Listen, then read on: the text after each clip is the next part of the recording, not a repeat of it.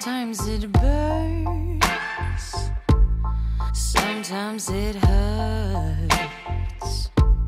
When you say my name, but thinking of her.